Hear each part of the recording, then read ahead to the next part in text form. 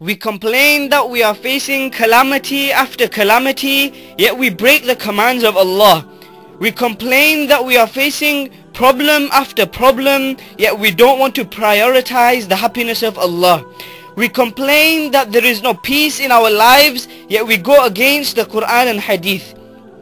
Some people think if we do as we please, we will attain peace. I swear by Allah, the more we do things according to our whims and desires, and we do not prioritize the happiness of Allah, then we will destroy ourselves.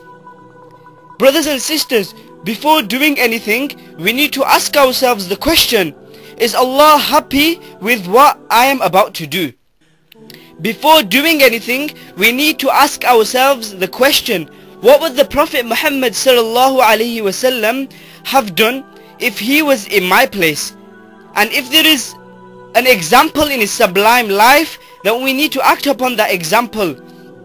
And if there isn't an example in his sublime life, then we need to ask ourselves the question, what would have he done if he was in my place? Brothers and sisters, we need to prioritize the happiness of Allah in all actions that we do. Only then can we attain true peace. Only then will we be happy on the long term. Only then will we be successful.